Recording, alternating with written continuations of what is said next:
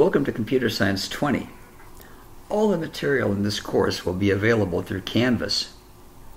You can get to Canvas from the evc.edu site by clicking Canvas in the Quick Links, then clicking the link next to Go to the Canvas site at. You may want to bookmark the login page to make it easier to access. Follow the login instructions that you find on that page.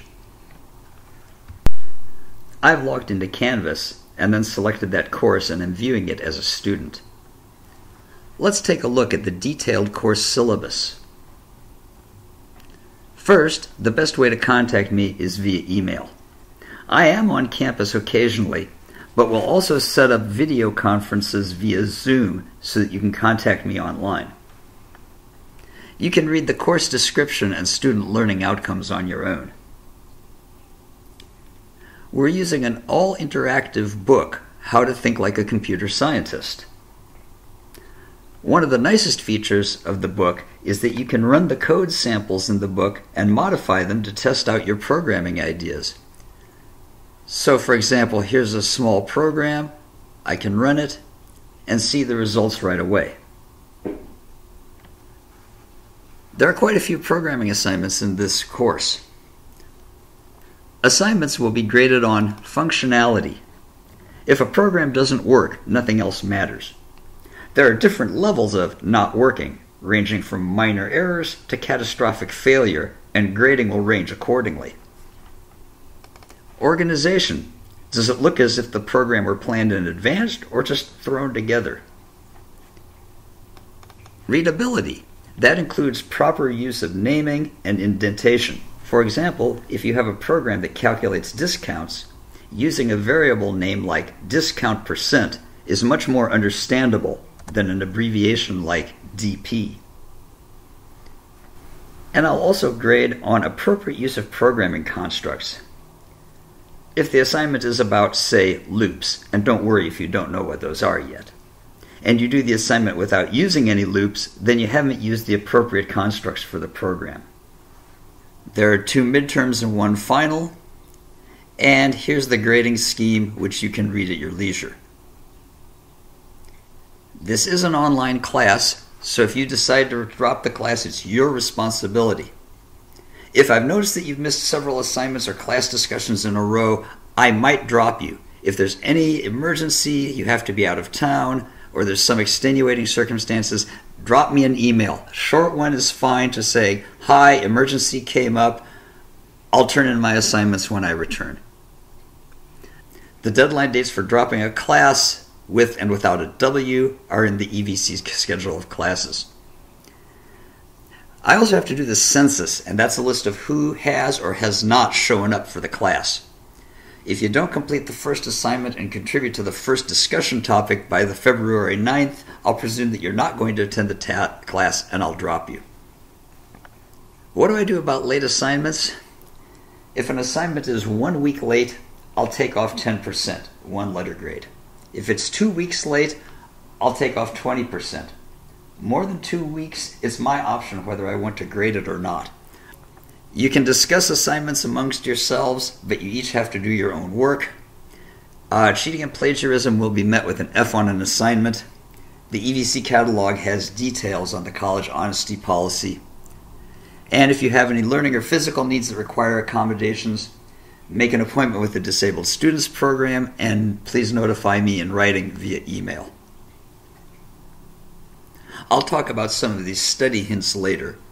But the most important one, I think, at this point is to block out time in your schedule to do the work. With an all online class, it's easy to get off track because day to day life tends to just happen and you put it aside and you never quite get back on track. If this is your first online learning experience, this may be especially difficult for you.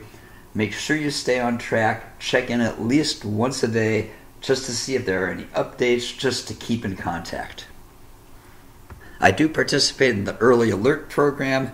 Read about this, it's a fairly important thing, and again, especially with an all online class.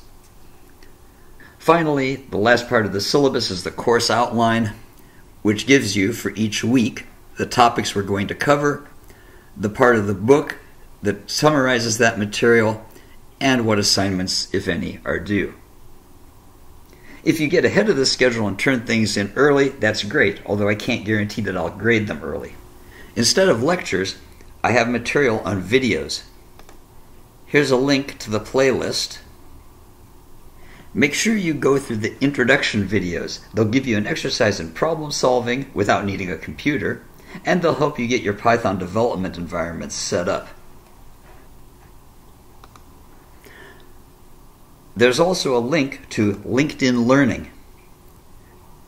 You'll have to sign on with your email.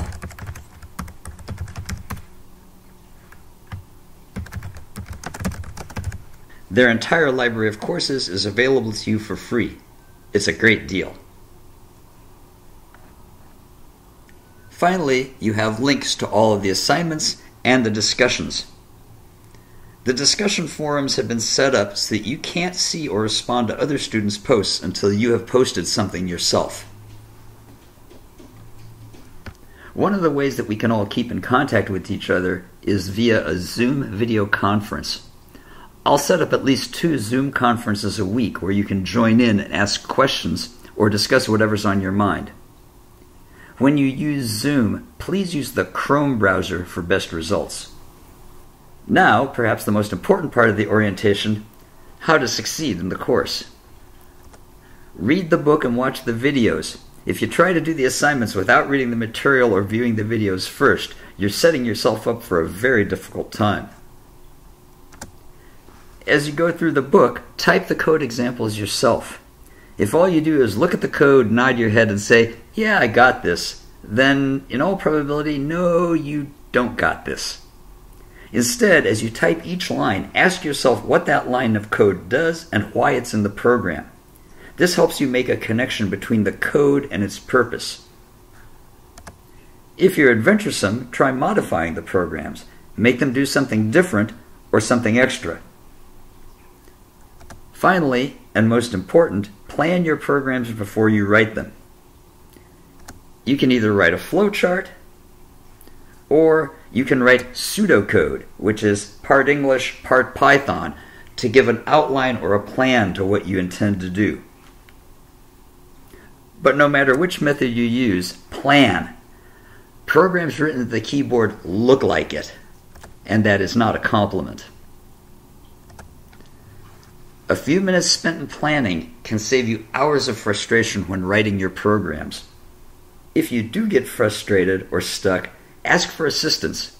Send me an email or ask for some suggestions and hints in the discussion forums. That's our orientation, so let's get started.